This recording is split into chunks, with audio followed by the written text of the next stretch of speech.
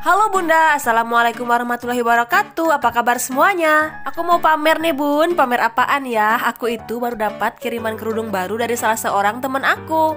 Aku dikirimin 4 piece, wah alhamdulillah banget ya. Semoga aja yang ngirimin aku itu rezekinya tambah berlimpah. Ini tuh bahannya super tebel dan lembut banget. Ini tuh real. Aku beneran gak di endorse ya bun.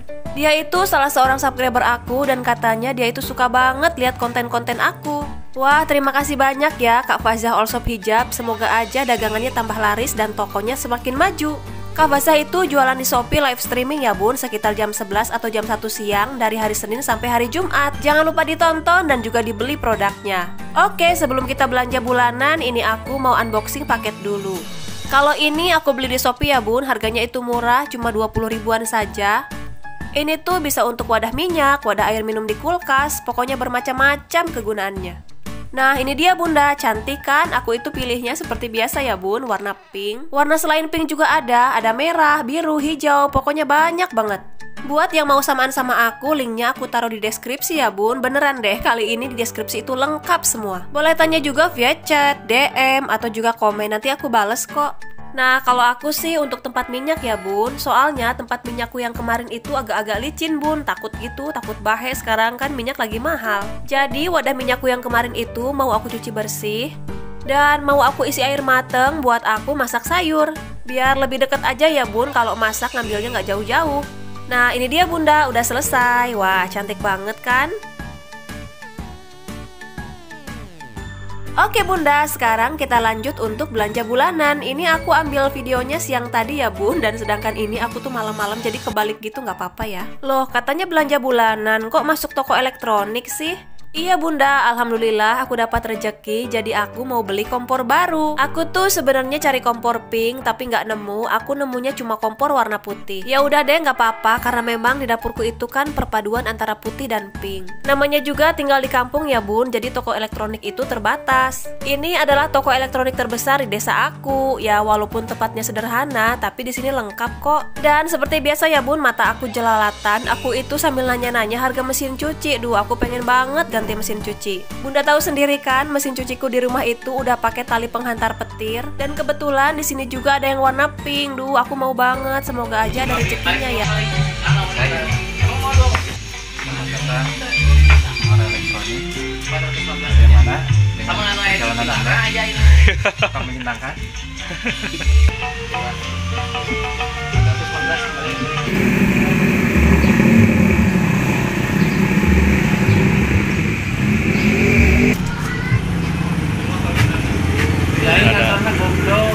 PNS Hah? Itu tadi sekedar iklan ya bun. Itu tuh semuanya teman-teman suami aku. Aku ini kan ada di Kalipucang Dan suamiku itu asli orang Kalipucang. Jadi di sini tuh semuanya teman suami aku. Aku tuh hari ini nggak masak ya bun Karena sibuk banget. Jadi ini sebelum aku belanja mau isi bensin dulu. Makan yang murah meriah tapi enak aja bun. Nasi padang 10 ribu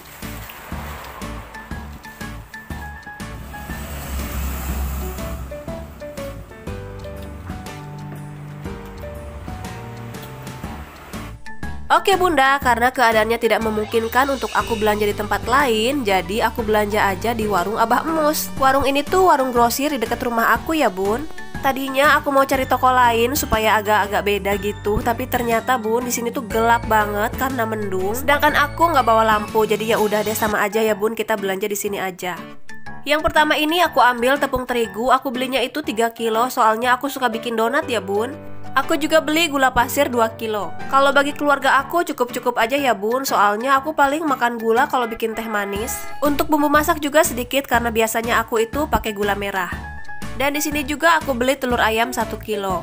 Kalau untuk telur ayam aku memang agak boros ya bun. Soalnya babang hilal itu kalau sarapan makan telur bisa 3 butir. Jadi untuk telur kalau aku seminggu itu bisa menghabiskan 1 kilo setengah. Tapi di sini aku nggak beli banyak ya bun. Soalnya wadah telurku itu kan cuma muat 2 kilo. Dan di rumah juga masih ada stok sedikit Warungnya juga deket banget dari rumah aku, jalan kaki juga udah nyampe, jadi ya udah deh ngereyeh aja ya. Selanjutnya ini aku beli mie instan, aku batasin satu bulan itu 20 bungkus saja. Aku juga belinya bermacam-macam ya bun, nggak satu macam aja. Ada mie goreng, mie rebus. Tapi kalau aku sih selalu setia sama Indomie rasa soto, nggak tahu kenapa deh. Indomie rasa soto itu maknyos banget rasanya. Dari dulu sampai sekarang aku itu nggak pernah ganti haluan, nggak pernah makan mie goreng, pastinya Indomie rasa soto. Oke, selanjutnya ini aku ambil margarin karena ya itu tadi ya bun, aku itu suka bikin donat dan juga kadang-kadang aku kalau masak telur pakai margarin juga. Aku juga di sini ambil ikan kaleng dua aja yang besar. Rencananya sih ya bun kalau nyampe gitu, kalau nyampe buat menu makan sahur. Namanya juga sahur, aku itu nggak pernah masak yang aneh-aneh, nggak pernah masak yang neko-neko. Paling banter juga masak sayur sop sama ikan goreng, tapi kan takutnya kita kesiangan ya udah deh masak aja yang simpel-simpel seperti ikan sarden itu. Oke, selanjutnya di sini aku ambil deterjen. Aku itu kalau beli yang sasetan aja ya bun, sampo juga yang saset supaya lebih irit. Karena kalau beli yang kiloan jatuhnya itu lebih boros, aku itu takarannya suka main sembarangan aja ya bun.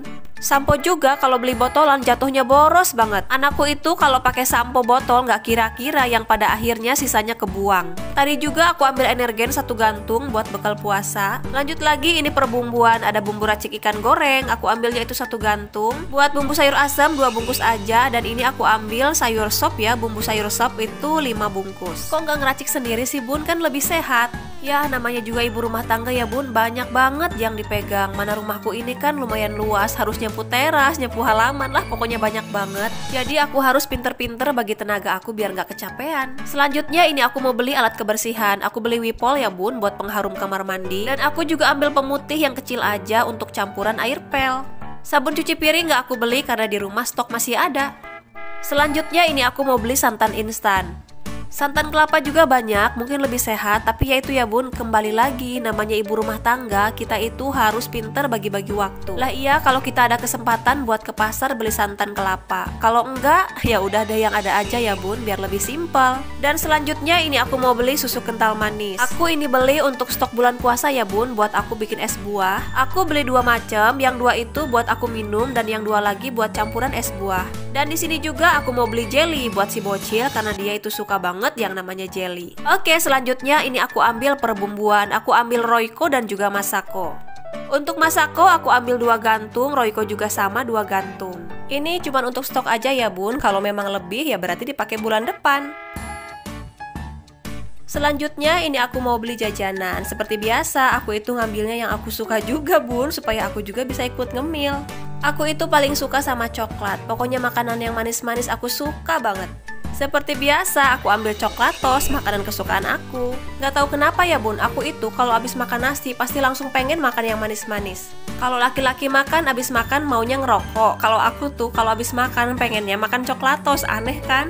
Dan terakhir ini aku mau beli obat cacing alias beras. Aku belinya gak banyak-banyak, cuma 15 kilo aja, soalnya stok bulan kemarin masih ada. Oke bunda, karena aku mau beli minyak goreng di tempat lain, di sini tuh kebetulan kosong stoknya. Lanjut nanti lagi ya bun, dadah. Assalamualaikum warahmatullahi wabarakatuh, I love you.